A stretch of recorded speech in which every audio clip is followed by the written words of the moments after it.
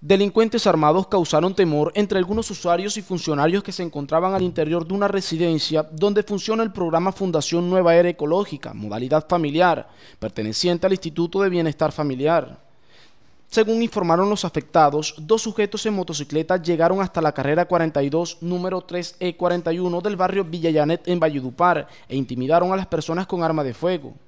Del lugar los delincuentes se llevaron equipos celulares, bolsos con documentos y dinero en efectivo, perteneciente a las personas que se encontraban a esa hora en la vivienda. Este hecho delincuencial ocurrió alrededor de las 3 de la tarde de este miércoles, según reportaron los afectados.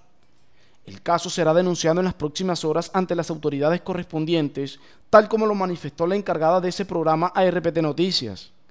A pesar de que el lugar no cuenta con sistema de cámaras, autoridades se encuentran tras la pista de los delincuentes.